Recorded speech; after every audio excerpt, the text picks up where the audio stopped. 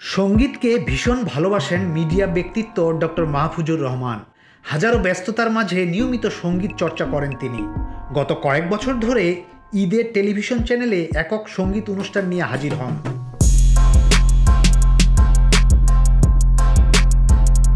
শুরুটা ছিল দুই হাজার ষোলো সালের কুরবানি ঈদে।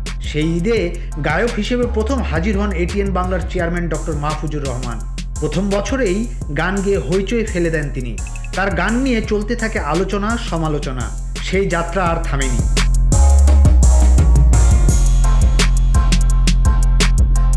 এখন ঈদ আয়োজনে মাহফুজুর রহমানের একক গানের অনুষ্ঠান ছাড়া কল্পনাই করা যায় না। কারণ ঈদে তার একক গানের অনুষ্ঠান ইস্যু হয়ে ওঠে শ্রোতা মহলে টিআরপিতেও অন্য সব অনুষ্ঠানকে টেক্কা দিয়ে উপরে উঠে আসে তার গান। তবে এবার চলচ্চিত্রে অভিষেক ঘটতে যাচ্ছে তার। সিনেমা নিয়ে আসছেন তিনি।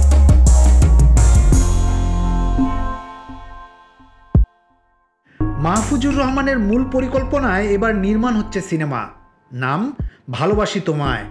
এতে প্রধান চরিত্রে অভিনয় করছেন কায়েশ আরজু ও শিরিন শিলা।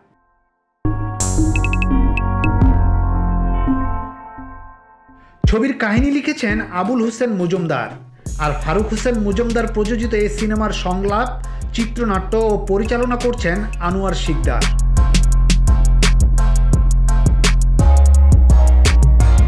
প্রযোজনা সংস্থা মজুমদার ফিল্মস সূত্রে জানা গেছে, চলতি মাসের শেষ দিকে ভালোবাসি তোমায় সিনেমার শুটিং শুরু হবে। গাজীপুর, বান্দরবন ও কক্সবাজারের মনোরম লোকেশনে সিনেমাটির দৃশ্যায়ন হবে।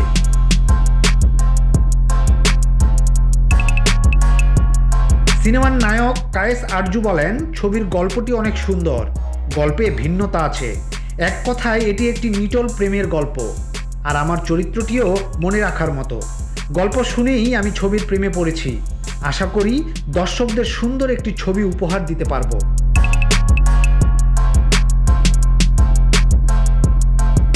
তিনি আরও বলেন, এতদিন ধরে বেশ কয়েকটি ছবির ডাক পেয়েছি।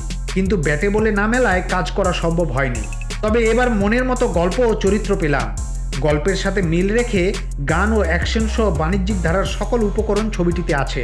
আশা করছি সব শ্রেণির দর্শকদের কাছে সিনেমাটি ভালো লাগবে।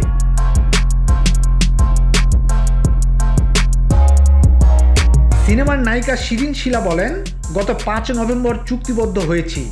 এ মাসেই সিনেমাটির কাজ শুরু হবে। নতুন সিনেমাটি নিয়ে দারুণ আশাবাদী আমি। সাদা কালো নিউজ